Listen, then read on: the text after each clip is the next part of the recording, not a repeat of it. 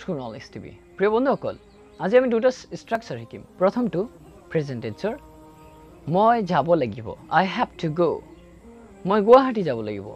I have to go' to Guwahati. মই পঢ়িব লাগিব। আই হেভ টু ৰিড মই খাব লাগিব। আই হেভ টু ইট এইদৰে আপুনি বাক্য ক্ৰিয়েট কৰিব পাৰিব। আৰু যদি আপুনি ক'ব বিচাৰে এইটো ষ্ট্ৰাকচাৰ নম্বৰ টু মই যাব লাগিছিল। মই কামটো কৰিব লাগিছিল তেতিয়াহ'লে আপুনি ক'ব I had to do I had to do the work I had to go' তেতিয়া আপুনি আই হেভ টুৰ সলনি আই হেড টু ইউজ কৰিব পাৰিব।